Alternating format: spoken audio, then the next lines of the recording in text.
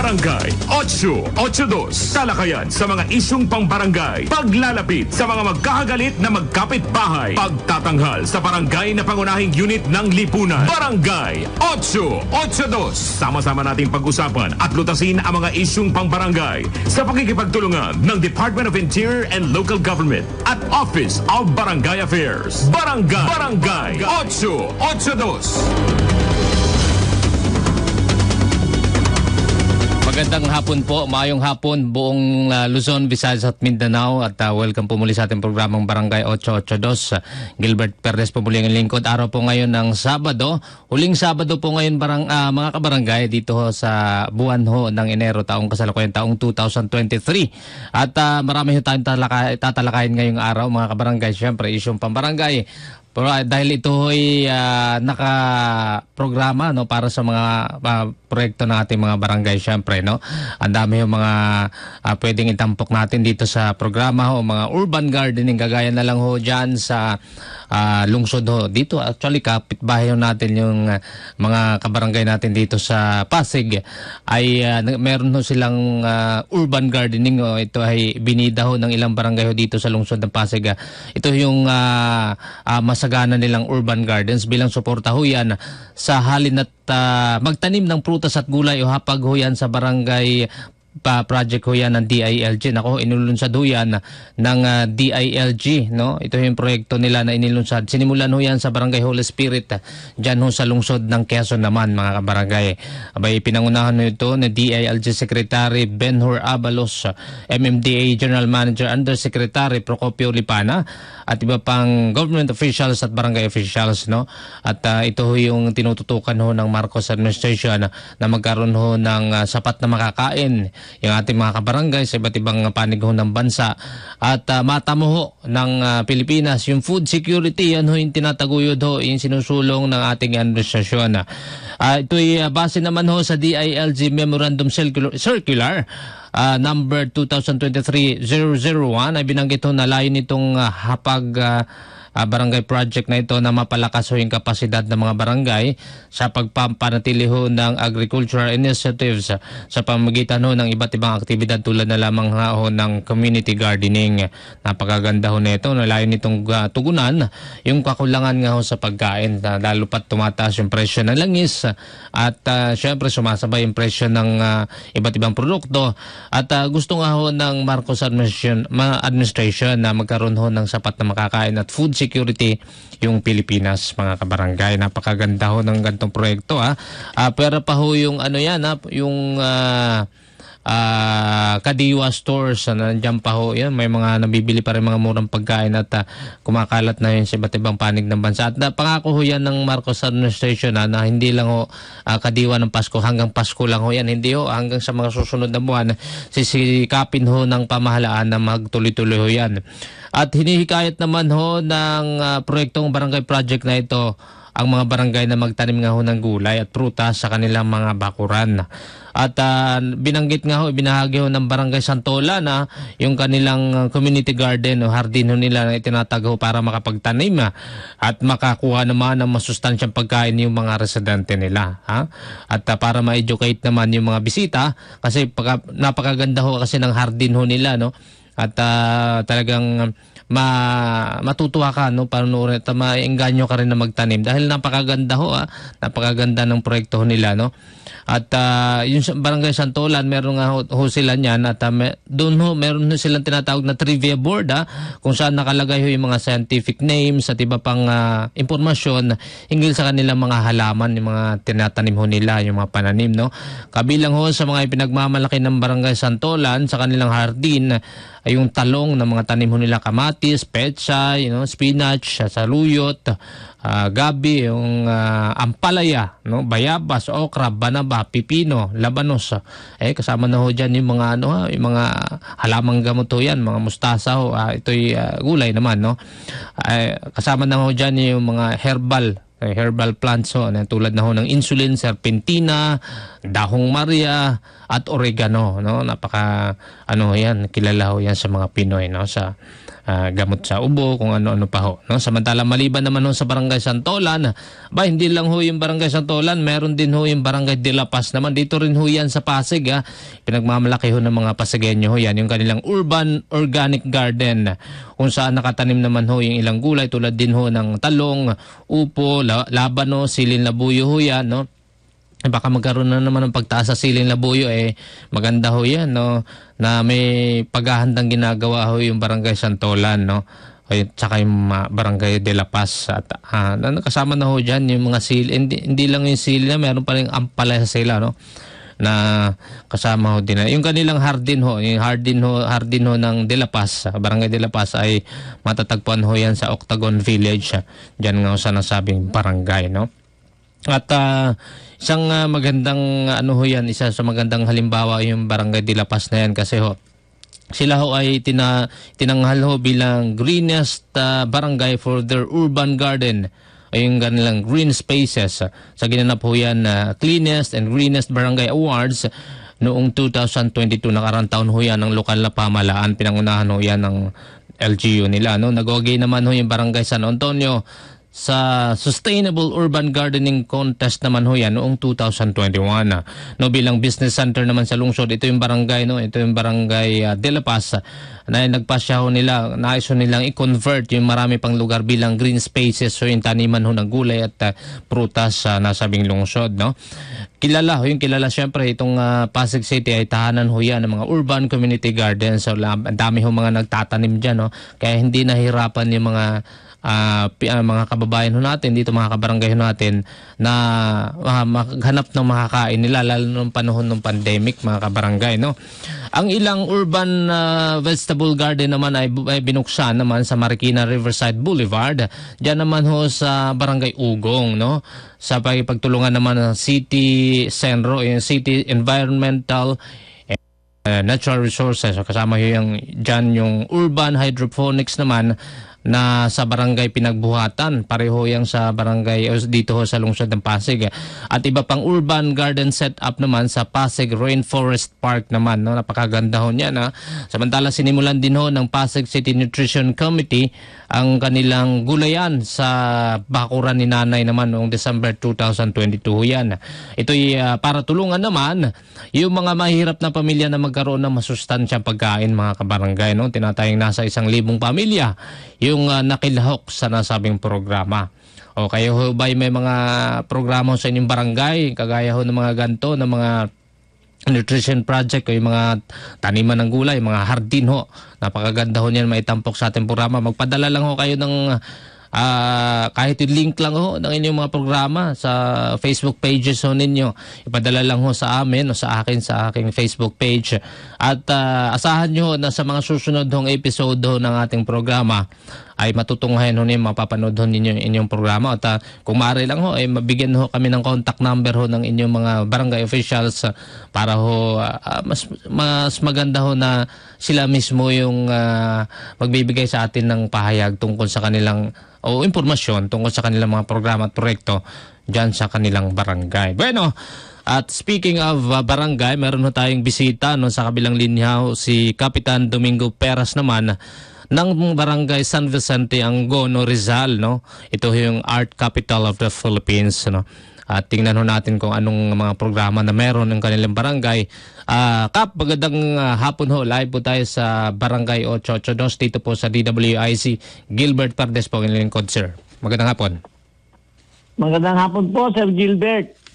Yes, sir. Magandang hapon. Ano, ah, kamusta ho yun yung barangay dyan? Mal- maliwanag po ba dating dyan? Maliwanag po ba? Opo, sir. Opo. Ay, opo. Ah, sa ngayon po, nagpauna ay nagpapasalamat ako sa inyo at sa Panginoon Mhm. at kami nakasama sa inyong interview. Mhm, mhm.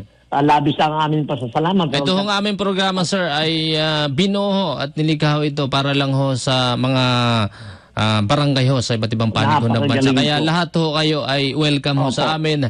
At kung Ay, maaari ho sana ay ma-inform ho yung inyong, inyong pamilya, mga kaparangay ho dyan na may Opo. share ho sa ah, Facebook yung ating live ngayon sa kasalukuyan ho sa ating FB live dito ho sa DWIC page ho, sir. Opo. Ah, sa kasalukuyan po, ang aming pong barangay ay ah, sub-sub ang aming pag-aaral dito sa ating ah, Ecological Solid Waste Management Act of 2000. Mhm, Yung pong in compliance sa Republic Act 9003. Yung pong sinasabi na paghiwalayin ang mga nabubulok at hindi nabubulok.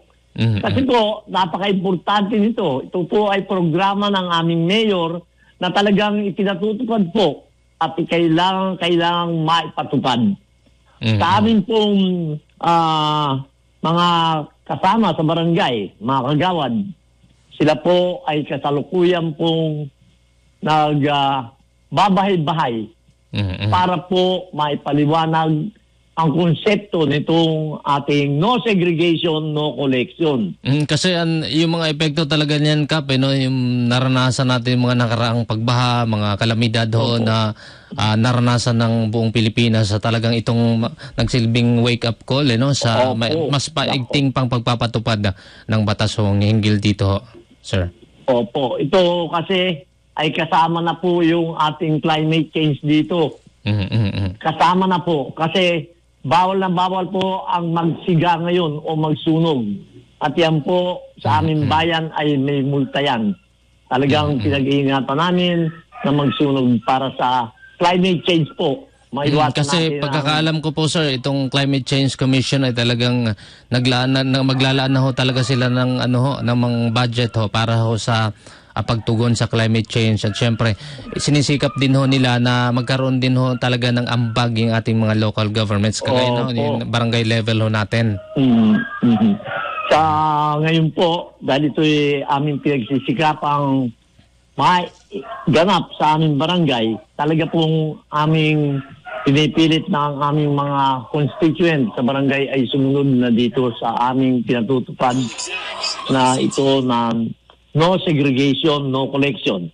Sa ngayon po ay nagpapasalamat din kami, pinaabot ko po sa aking mga nasasakupan dito na sila pong mga sumusunod ay amin pong pinasasalamatan at nagpapasalamat na rin po kami doon sa mga susunod pa rin.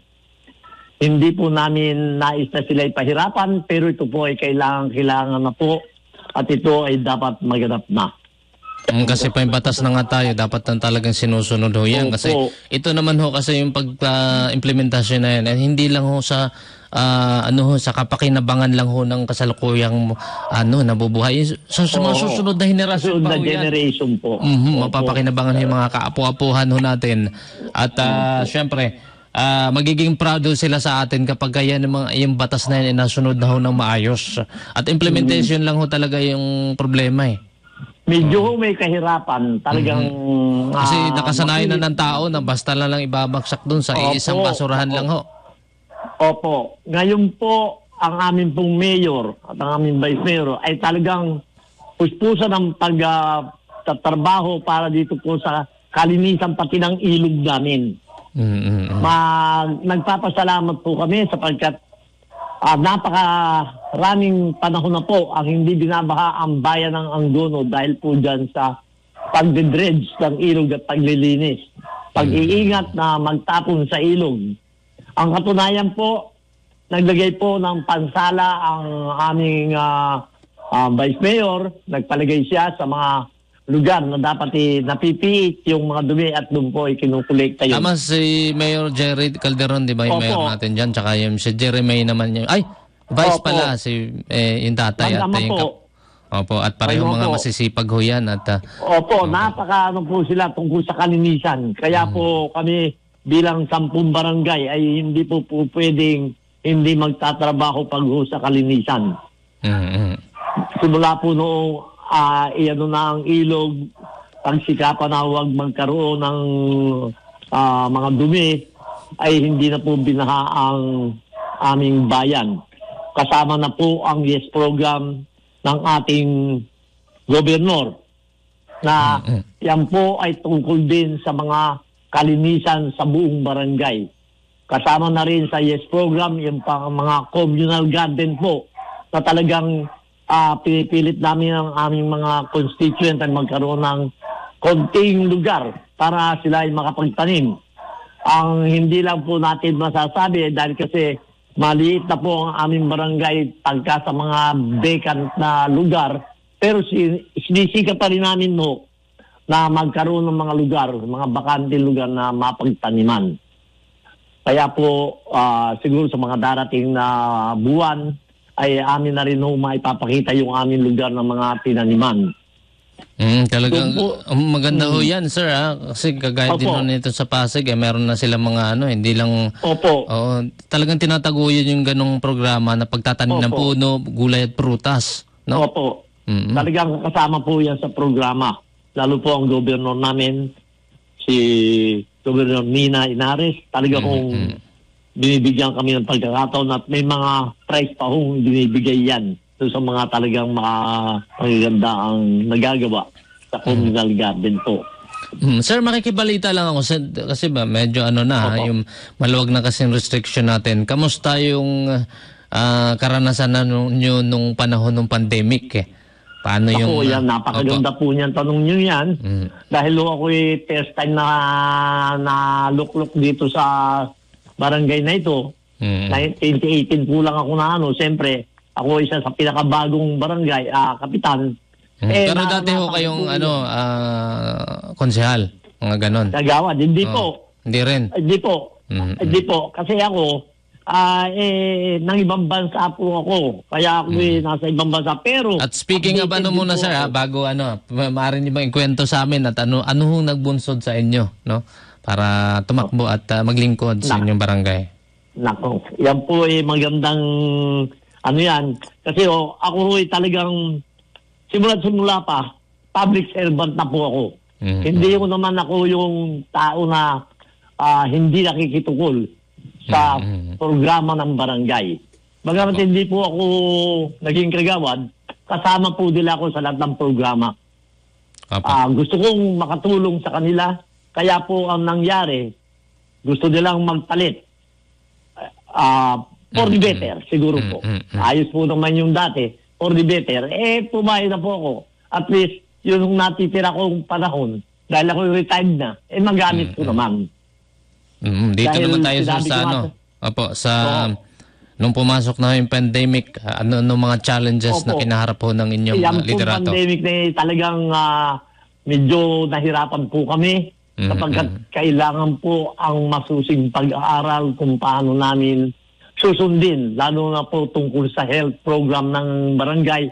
Kailangan yung minimum protocol sa health ng ah, mga tao ay kailangan masunod. At yan po eh, dahil bigla-bigla yan, Mm, talagang na ang daming na ano yung na, na talagang naka, humarap sa hamon no? Nasukat Opo, doon yung kakayahan at ah, syempre yung pasensya ng mga barangay officials natin sa mga langungulit ho sa inyong office na tungkol sa mga ayuda mga ganun sir no Oo, yan. Napakaganda po niyan. Talagang sinika po namin na yung mga ayudang yan eh, mapabigay sa tamang mga kamay.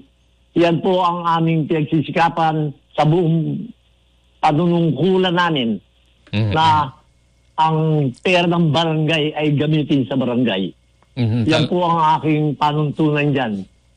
Ang mga kasama ko po ay talagang tumulong sa akin. Bagamat lalo yung mga barangay ano natin barangay officials ah, mga ba- barangay tanod sir ano sila yung Opo, Mhm. lahat.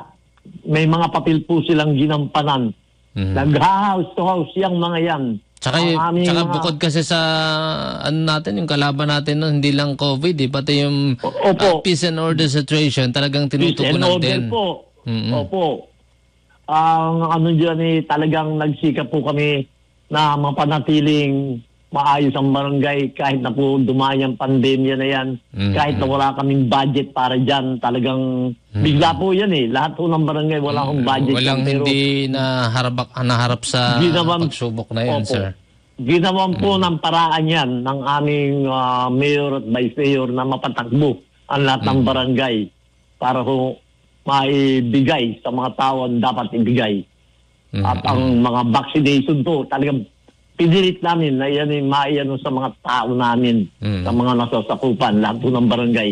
Talagang may mga ano yan, data na ibinibigay sa munisipyo para yan ay maiano namin Mhm. hindi ho kami nagtigil dyan at awa ng Diyos po naman sa ngayon ay Mhm. Hindi na namin sa, Gaano masabi ka wala taas kami. yung uh, ano niyo sir, yung uh, COVID cases sa inyo nung panahong yun? Ang COVID cases po, wala na po. Wala na dito sa amin. Hindi, nung panahong Ah, yun, gaano karami? Anong panahon po yun eh. Mm-mm. Naging No, ano rin yun. At ah, meron ho rin kaming ah, mga pumanaw. Ibig sabihin, hindi ho naman todo-todo. Mm. Pero nasuportahan po namin yan na pag-ingat namin ang mga tao. Mm, At ito yung mga dahilan sir no kaya pin, talagang uh, mas pinaigting niyo pa yung ano yung uh, Opo. kampanya para ho makapag uh, pabakuna yung inyong ng barang mga Opo, kabarangay. yan ho, talaga. Inano namin yan. Lahat po ng kasama ko sa barangay, sa bagay, hindi lang po yung pati na mga ah, kasama dito sa ah, barangay San Vicente, yung mga health ano dyan, talagang nagtulong-tulong po lahat. Hindi ko kami tumigil dyan. At ah, awa po naman ng Diyos, ayan, ah, kung may pumanaw man, very minimal na sagip po naman sila. Tsaka yung mga pag uh, yung ano nun, yung meeting, 'di ba, na sanay tayo sa uh, physical, no? Yung face to Opo. face at uh, Opo. uh, yung challenge doon na pagsasagawa ng meeting ng Opo. online, medyo nahirapan sa Opo, umpisa, yan. sir, eh, no? Mm. Ah, talagang lahat po ng hinihingi ng ah, ating ah, health department ay amin pinilit na maipasunod para ho at least kung hindi man ma-control yan, ma-minimize natin ang ano ang pagdami. Mm, mm. Ah, kasama, kasama na rin po yung sinabi nga nyo ang peace and order para po sa kaayusan ng aming barangay. Kami po ay ah, isa na po sa ah, barangay drug free. Drug free po o drug cleared barangay. Ah, kung sana sa ano po, eh talagang masasabi natin na maayos na po tungkol sa drugs ang barangay San Vicente. Hindi lang po rin San Vicente, marami rin po dito sa amin. Dahil kami sampung barangay eh, halos drug cleared na po kami. Kaya yan eh, isang maipagmamalaki po namin. Mm. At ang kapulisan kailan po yun naman- na-deklara ito, sir? Ng uh, PDEA ba nagdedeklara? Tsaka DDB, sir, di ba? Tama ba? Opo. Ah, i-declare po yan ah, last two years. Ano na po, pre na. Drug cleared na ang mga barangay dito sa San Vicente, ah, sa Anguno. Talaga hong pinilit na yan eh, maging uh, drug cleared ang mga barangay. Mm, talagang Hindi nakatulong yung uh, ano, yung talagang pagpupus yung war on drugs at uh, lahat nagtrabaho, sir, ano? Lalo na Opo, yung badak po. natin. Opo, yan. Napakahalaga ng papel na barangay, ginagampanan opo. ng ating uh, Barangay Anti-Drug Abuse At- Council. at- Opo, at hindi din po namin tinitigilan yan hanggang sa ngayon may mga programa po kami tungkol dyan. yung mga seminar, sir. Seminar po. Mm. May mga seminar kaming ginaganap. May mga ah, pinapaano namin sa barangay para malaman nila kung paano ang dapat ikilos ng mga tao tungkol dyan sa drugs. Mm. Kasama po namin pati kapulisan. May Mm, programa Sa po kabilangan ang ng ano sir, no, sa kabilangan ng sabi mo nga eh drug cleared na yung inyong barangay. Opo. Talagang hindi natatapos doon eh. Tuloy-tuloy pa rin yung campaign. Opo, tuloy-tuloy po yan. Mm-hmm. Tuloy-tuloy. Hindi po, kung nasabing gano'n, eh, ano na, tuloy-tuloy po ang programa namin. Mm-hmm. Sa yan eh, naka, ano po lahat ng barangay police, naka-ready sila. At lahat po ng mga kagawad eh, tumutulong naman para yan eh, mapanatili namin. Mhm. Yung pong kapulisan, nagkakaroon din po kami nung, meron nung silang napakagandang programa ngayon, yung kasimbahayan, yung magkakasama po ang simbahan, ang pamayanan, at ang barangay. Yan po ay talagang ah, pinaiiral nila sa buong bayan ng Angono, kasama na po siyempre ang San Vicente, na ang pulis at ang mga sim- ang ano sa reliyon, sa simbahan, Mm. ay katulong po ng Ito barangay. yung kasimbahayan sir yata na Opo. uh, ano na programa ng PNP. Opo, napakaganda pong programa ito ng Lahat ho may partisipasyon kasi tama nga din Opo. naman oh, hindi nga naman natatapos lang yung Opo. kampanya na yan na nag-iisa lang sa laban yung PNP, yung barangay. Opo. So dapat lahat may partisipasyon no. Gaya na Opo, lang ng lahat. simpleng pagsis- pagtitext lang no, pagsusumbong ng impormasyon hinggil sa mga nagaganap na ah, transaksyon no, ng illegal na droga. Mahalaga ho yung partisipasyon talaga ng bawat uh, miyembro ng barangay o komunidad. Opo. Mhm. Doon po naman sa kayusan ng ah, aming mga karsada, dahil may mga karsada ho namang medyo maliit dito dahil ah, sabihin natin ng mga unang panahon ginawa, pinaiiral po rin ni Mayor ang one-side parking. Kaya po, Mhm. para maiwasan yung kung sakaling magkaroon sa kuna, yung sunog, Mm. ang aming bumbero dire-diretsong makakakilos. Mm, Yan ibig po sabihin ang sir, ito talagang- yung kalim, balimbawa may nakaparada sa kabila, bawal yung isa tumapat Bawal dito. po, tinotoho yun. Kukunin ang tower namin. Mm. Talagang hindi ho po pwedeng ano. Kaya ho siguro, kung mapapansin Pero lang hilo, mapapansin gaya nung sa ibang barangay sir na may mga ano kasi may mga ah, ah, subdivision naman, o village, hindi hindi mo maipatutupad yun. Yung, pero lang kung national roads, 'di ba, yung mga main roads, Oo. talagang bawal dapat 'yun. Bawal yun. Mhm. Eh, dito po, siyempre, bawat barangay, gumagawa silang paraan para lumuwag-luwag at naitatabi yung mga sasakyan. Patulad po dito sa aming barangay, ah kung may kaliitan yung kalye, pinasimento namin lahat ng tabi, yung kanal, yung open kanal, para naitatabi ang ano, at least mga kalahating metro, eh lumuwag ang kalye. Ganun. Uy, ginagawa po namin ang paraan yun. Isa Eh, talaga sa mga problema yan, yung mga obstruction na yan at ang, Opo. ang ah, nagiging ano niyan, ang unang napupukol o yung unang nababatikos yung mga barangay na akala may may something na pinapaboran o kaya may kinikilingan. Opo, yun. Kaya isa rin sa mga challenge talaga ng barangay kagaya ninyo nasa barangay Oo. ang kayo yung mga na, namumuno talagang ma- mahirap din ipatupad yun no at ah, dapat talaga ah, maganda rin yung ginagawa na hindi talaga walang tinitingnan no lahat Opo. kapag ka may ginawang mali no Halimbawa, nagparada ka ng lahat Wala. patutupad sa lahat yan Opo, wala po kaming kapakapatid pagka sa ganyan. Mhm. Basta ho, talagang hindi nyo inalagay sa ano, tandaan ng tower, sampayan, dala sa impounding area. Yun Mhm. po, at doon na lang sila mag-uusap. Mm, kaya talaga po. magsisilbing aral yan sa ano no kasi pagka ganyan Opo. no hindi ho magkakaroon ng disiplina yung ating mga kababa, Yung, kabarangay eh kung wala opo. tayong ipatutupad na Malaking ganyan. bagay po, malaking bagay. At Pag titigan nyo ngayon ng kalye, pag sila'y sumusunod, napakalinis po ng kalye. Mm. Parang sasabihin nata- natin na walang nakapark dahil nasa isang side lang. At dire-diretso din ng ano, walang sasalubong. One way, one side parking kami po. Mhm. Yung po namang ano, may programa din ng aming barangay. Yung pong scholarship program, kahit na po anong panahon, kahit na po noong may pandemya, ay tuloy-tuloy pa rin po. Kahit na ang mga bata ay nasa sa mga bahay, tu- Mm. tuloy pa rin po ang pagtulong ng barangay sa kanila dahil ah, yan po ay ah, nasa programa ng aming barangay. Yung scholarship ng mga batang mga mag-aral dito sa aming lugar. Ah, sige, ah, Chairman, no, si ICAP, siguro ma- maya-maya magbe-break muna kami. Huwag ko kayong aalis dyan, Opo. sir, ha? Mamaya, marami pa Opo. akong tatanong tungkol sa mga sa peace and order situation. Siyempre, sa iba pa mga Opo. programa ho sa inyong Opo. sasakupan. Ah, dito lang po ako. Opo, 4.35 na ho ng hapon. Magbabalik po kami. Barangay 882.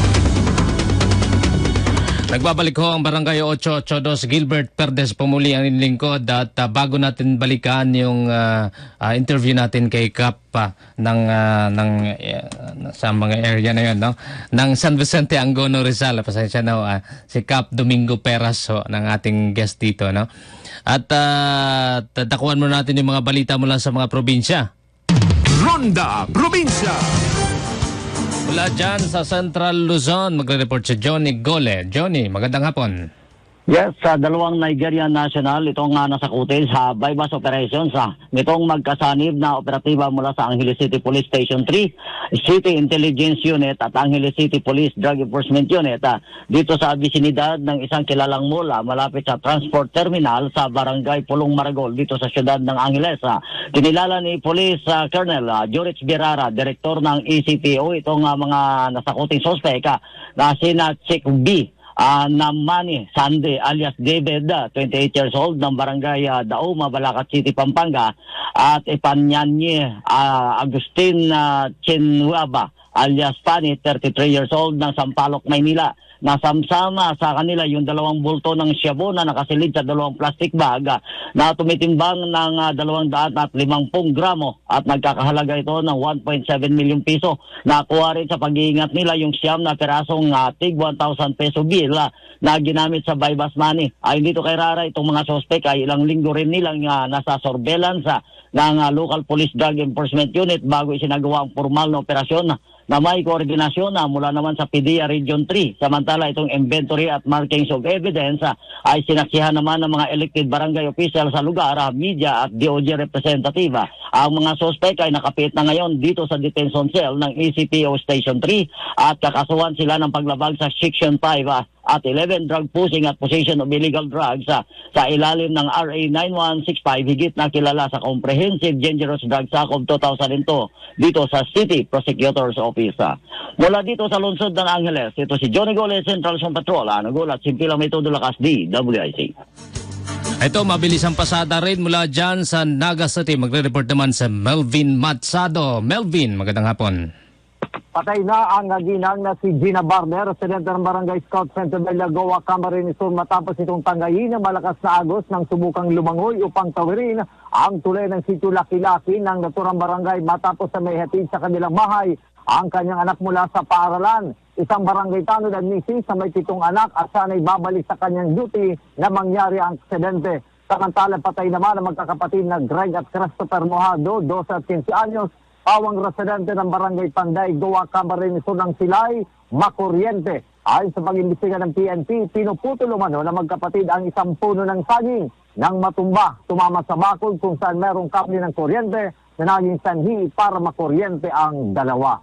Nagyara na sa turang insidente habang nasa kasagsagan ng pagbagsak ng malakas na ulan kahapon. Mula sa Camarines Sur, Melvin Machado, nag-ulit sa Impito ng Lakas, DWIZ. Samantala si Mar Olete, magre-report naman mula dyan sa Batangas. Mar, magandang hapon. Yes, magandang hapon. At uh, ito nga, arestado nga itong 21 anyos na wanted sa kasong sexual abuse arestado dito nga sa Santo Tomas. Itong 21 anyos na binatang naharap sa kasong uh, pangmumolestya sa isang babaeng biktima sa barangay San Rafael, Santo Tomas City, Batangas. Kinilala ng Santo Tomas City, uh, Batangas, uh, Police Station, si uh, Mark uh, Aaron Di Castro, residente, uh, residente ng naturang lungsod at tinuturing na top 8 most wanted ng Batangas PNP provincial level. Sa bisa ng warrant of arrest ay naaresto ang binata sa ikinasang operasyon ng motoridad nitong nakarang Webes at uh, Enero 26 Ah, Enero 26 at uh, batay sa investigation, sinumbong ito ng biktima sa kanya umanong uh, dinolestya simula noong Agosto 15, na 2022 at ilang beses umano itong nangyari nagdulot ng problema at psychological effects sa biktima. Inilabas ng korte ang warrant laban sa suspect dahil sa crime of sexual abuse noong nakarang Nobyembre at ngayon ay nadakip nga sa Santo Tomas City ang nasabing suspect. At yan ang ating report mula sa Batangas. Orlet Regular sa Pinang ito na nakasito po IC. Isa pang mabilis ang pasadang balita mula naman dyan sa Bataan mula kay June Bringula. June, magandang hapon. Makulimlim na hapon, arestado ang isang lalaki makaraang mahulihan nito ng asyabu na nagkakahalaga ng may 340,000 pesos at baril sa checkpoint sa barangay Sana Roque sa Samal Bataan.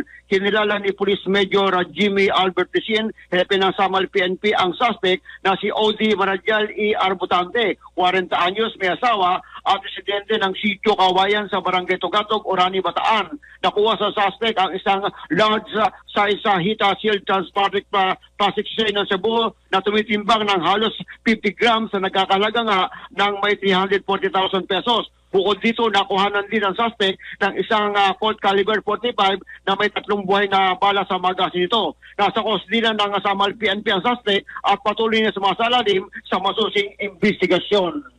Yun, Brigol Douglas, yung Metodo Lakas, TWIC. Maraming salamat ho, ah, June Bringula. Samantala may nag-text sa atin mula dyan sa sitio kay Sakat San Jose, ah, dyan sa Antipolo Rizal, sa barangay San Jose Antipolo Rizal. So suportan daw nila si SK Chairman Monte Tolentino, no? At ah, parang ah, sinasabi nila natatakbo at ang pagka-chairman nito. Masipag daw si SK Chairman Monte na talagang ang dami daw mga ginagawang programa dyan sa kanilang barangay tulad na lang ho ng scholarship program at iba pa na nakatutulong ho sa ating mga kabarangay dyan sa Barangay San Jose Antipolo City. At ah, maraming salamat sa ating texter.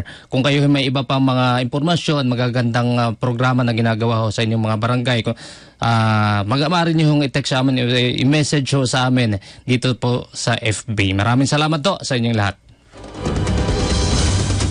Bueno, nasa kabilang linya pa rin ho ba si Cap Domingo Peras? Cap, magandang hapon Opo. po muli. Sir. Magandang hapon po muli. Nandito pa po ako. Mm, pasensya na Ah. at ah, medyo sumigway lang ho kami doon sa uh, Okay ronda lang po. probinsya ho namin. Balikan ho Ah, natin sir yung mga yung Ano po, may- ah, may peace and order kayong- situation. Opo, sir. Opo. Kamusta ho Saan yung peace and order situation? Ah, may mga nagaganap ba mga petty crimes, mga ganun sir?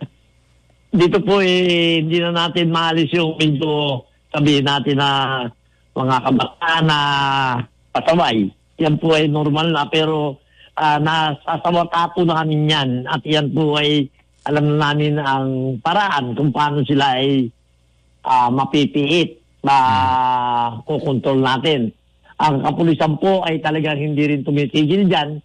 Si ah, Henry, ah, ang amin pong hepe, si Henry Villa Gonzalo, ay Mm. parati pong nagpupunta sa mga barangay, katulad po ng aming barangay, na siya ay talagang nagkakaroon ng kaunting ah, ah, panahon para magsalita sa mga kaanib ng mga constituent natin.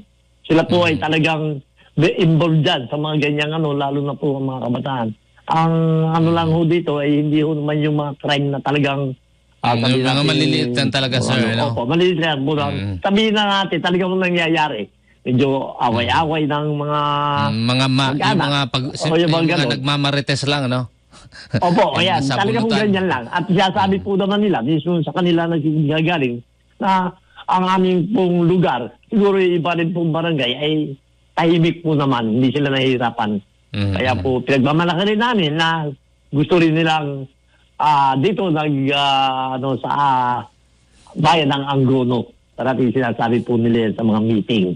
Mhm. Kaya po, ah, yun ang aking masasabi sa peace and order. Lagi po Mm. sila nakanda. Mhm. Napapansin At ko sir talaga no ah, itong barangay ah, level talaga natin isa sa mga pinaka ah, hindi masyadong nabibigyan talaga ng pansin lalo yun sa mga benepisyo. At ano ho Opo. masasabi niyo sa sa kabila na iti- tinataya na ng buhay yung buhay nila ng mga barangay officials eh hindi pa rin masyadong nabibigyan ng benepisyo. Maliban sa syempre itong actually maganda na rin naman ho meron tayong mga CSC eligibility sir pero hindi pa rin Opo. talaga sapat sir no yung yung ah, ah, honorarium na tinatanggap po natin. Opo.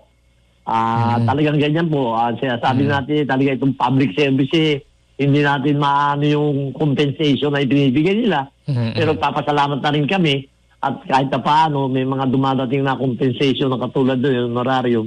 Eh ang akin lang po, sana naman ang ah, ating ah, gobyerno Mm. ay pag-isipan din, madagdagan naman kasi pag ako nag-ano, medyo may kalitan, hindi yun naman pwedeng laki ng mga budget para doon Mm, dahil mm, may mga ceiling po, may mga ano ho. Mm. Kaya we hope na someday, siguro po naman eh, hindi naman sila mga tulog doon na hindi nila Opo. pinag-aaralan din ang tungkol sa barangay compensation. Mm, pero meron mag- may magandang pinupusyo yung si Pangulong ah, ah, Ferdinand Marcos Jr. kagaya na lang ho ng ah, Magna Carta for Barangay Health Workers. Ano, mga BHW talaga natin ah, talagang ah, ito, ito yung hindi rin masyado nabibigyan pansin eh. Kaya maganda Opo. rin yung ginagawa ng ni Pangulong Marcos na talagang pinupush niya yung, talagang sinusuportahan niya yung priority bill niya na yan para ho sa kapakanan ng mga BHW natin. Um, opo. Sana po, sana po eh, tuloy-tuloy ang mga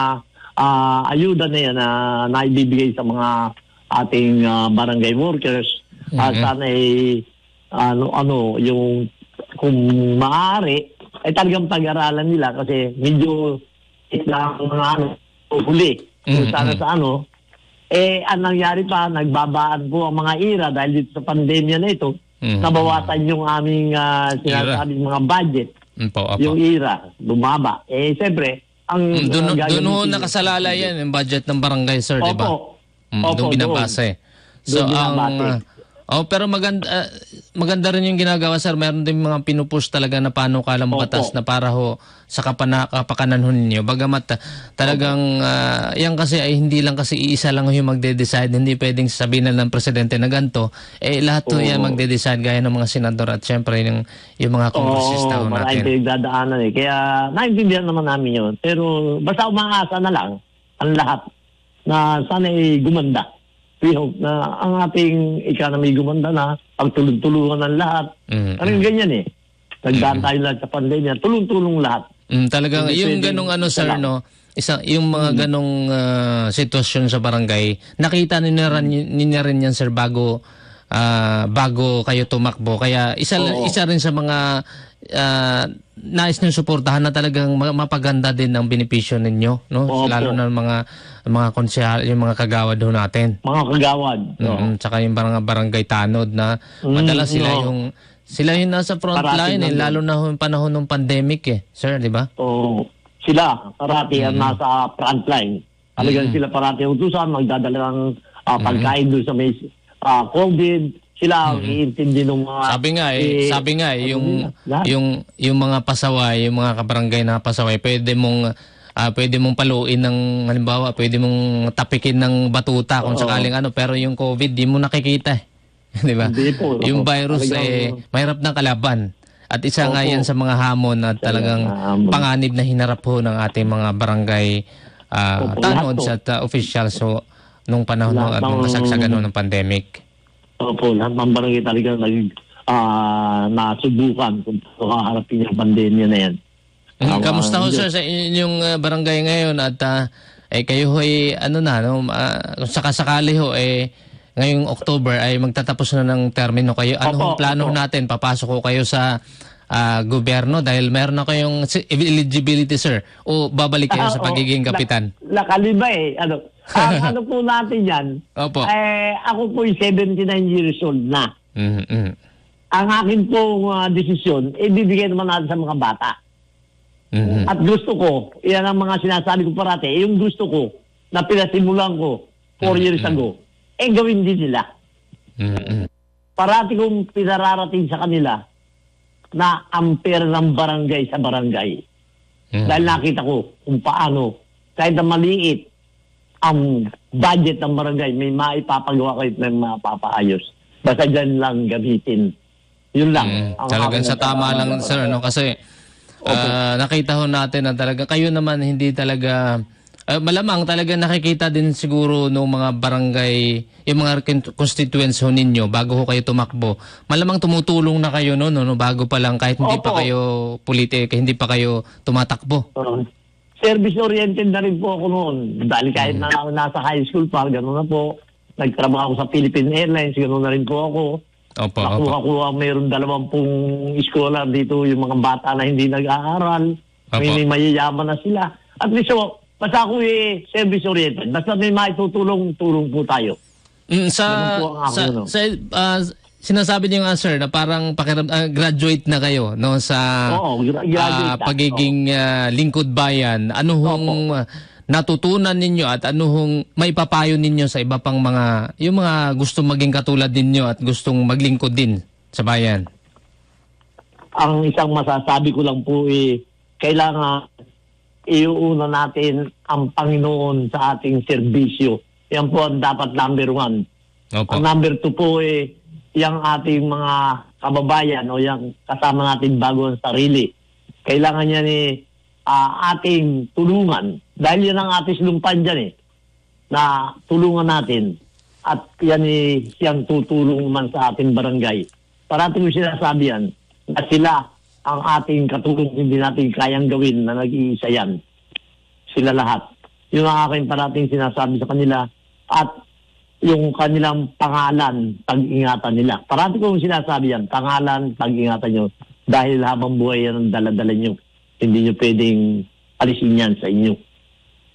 At Yun. I hope Ayun. na pag-alis ko po dito ay pagpatuloy na lang nila yung aking mga ah, ginawa o aming ginawa. Tulong-tulong po kami. At siguro po naman ang barangay namin maraming nagsasabi na nakakita nilang gumanda ang aming mismong barangay for 14 years o 13 years. Hindi po ano, hindi itong administrasyon ko eh. Kahit na paano ho gumanda ang aming barangay sa kaunti pera na aming budget dyan na ipaayos namin. Ayun, maraming salamat ho ah, sa inyong oras at pagkakataon sir na makapanayam ho kayo sa aming programa at syempre sa pagbabahagi ho ng inyong ah, kwento at syempre mga programa at proyekto ho sa inyong barangay. Thank you so much Kap Mm-hmm. Maraming Domingo maraming salamat po ah, sa inyo, Sir Gilbert. Uh, sana'y mabuhay pa kayong matagal. Thank you so much po. Magkatulong-tulong tayo sa ating mga problemang katulad ng ating sinaranas ngayon. Ayun Maraming sir. maraming salamat po. Thank you so much, sir. Mabuhay po kayo. God bless. Yun po si Cap Domingo Peras ho ng Barangay San Vicente, Angono, Rizal. Nako, 4.58 na ho pala ng hapon. Nako, maraming salamat ho sa ating boss sa panguna ho ni na Boss Edgar Cabangon, si Ma'am Juday, Sir Dennis Antinor, ating EVP General Manager na si Attorney McNeil ah, Rante, at, at iba pa nating mga boss dito sa Aliw. 23 at syempre sa DWIC ho mga kabarangay. Thank you din ho sa ating mga nakasama dito ho sa newsroom na sina Jen Patrolia, Angelo Bainyo, ating writer, Sokmed ho, Engineer June Aguba at Communications Assistants na sina James Jesus at Jessa Barameda. Huwag po kayo maglilipat, susunod na po ang barangay o yung ah, programa programang uh, Obit Pisa IC. Kasama niyo dyan sa Goba Obit Pagdanganan at Ma'am Judith Estrada Larino. Maraming salamat ho. Happy weekend! Barangay 882